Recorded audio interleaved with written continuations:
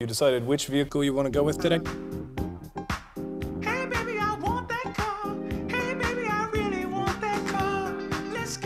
Yeah, that's, uh, that's my confidence. It's been coming out of me ever since I went on cars.com.